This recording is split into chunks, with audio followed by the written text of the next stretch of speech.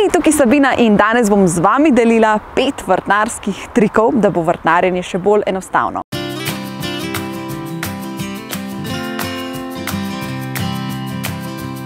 Še prej vas pa popeljam po balkonskem vrtu in pokažem, kaj tam raste.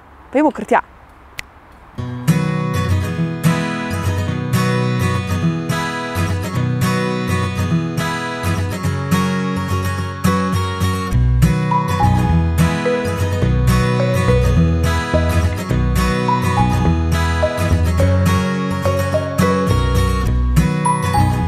Vrtnarski trik je za tiste, ki imamo radi solato.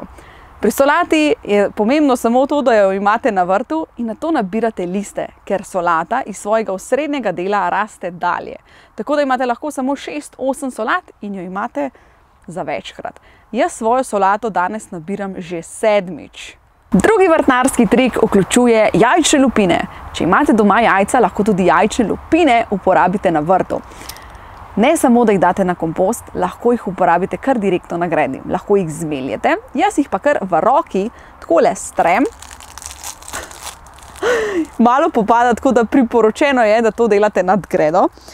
In to pride prav proti polžam, ker jih mečkeno špika, sicer ne prepreči, da polži ne bi lezli po gredi, hkrati pa pomaga paradižniku, da mu date dovolj kalcija oziroma da mu date nekaj kalcija, ker paradižnik potrebuje kar precej kalcija, zato da njegovi plodovi niso črni.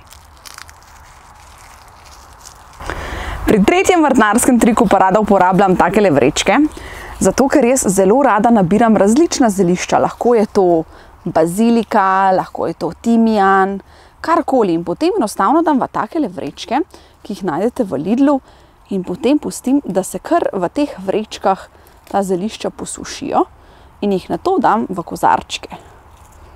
Liste samo obtrgavamo in jih shranimo. Tako na balkonskem vrtu kot na običajni gredi ter v rastlinjaku imam rada mešano zasaditev, zato ker na tak način izkoristim prostor.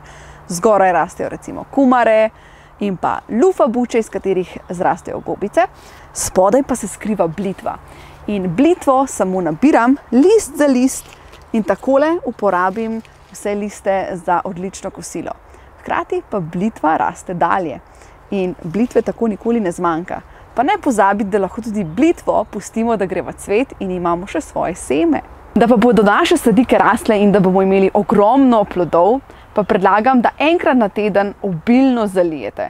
Zalivanje enkrat na teden je veliko bolje kot vsak dan pomalo, ker bojo korenine tako vzpostavile sistem globje in ne bodo iskale na površju vode in vas, da jih boste zalili. Tako da enkrat na teden za obilo vode in pa seveda ne pozabiti, da lahko uporabite koprive in gabe za svoj pripravek za zalivanje.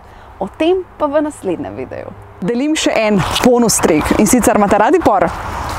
Jaz por najraje uporabim za porovo juho in takole ga samo odrežem nekje na višini zemlje oziroma mečkeno više in dobimo por.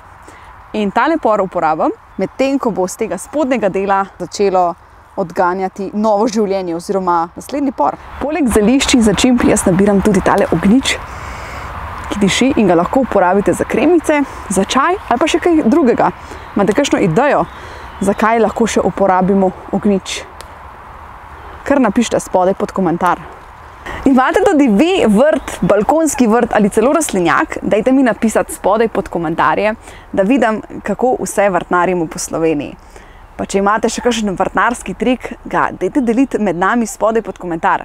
Mi se pa gledamo naslednjič v bolje za okolje. Čau, čau!